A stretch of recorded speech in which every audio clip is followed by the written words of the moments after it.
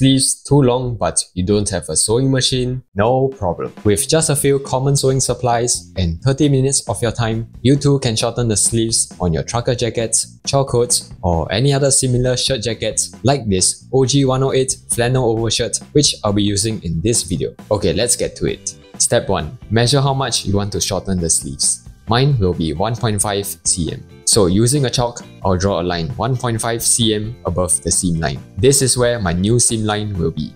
Step 2. Unpick the stitches with a seam ripper. You don't need to unpick all the stitches running along the cuff, just where the sleeve and cuff meet. Step 3. Draw a line 1.5 cm above the end of the sleeve or however much you want to shorten the sleeve by. Now cut along that line. Step 4. Pin the sleeve between the cuff, ensuring it sits nicely without any excess fabric bunching. This should coincide with the new seam line that you've marked earlier. Starting from about half an inch below the top edge of the cuff, we'll sew up here, then along here, and then back down half an inch. We'll do this using a backstitch, which is the strongest way to stitch by hand. To sew a backstitch, first thread and knot your needle. From the underside of the cuff, push the needle through it. Instead of going forward, go back to the hole of the previous stitch. Then push the needle out to create the next stitch, and back down to the hole right before it.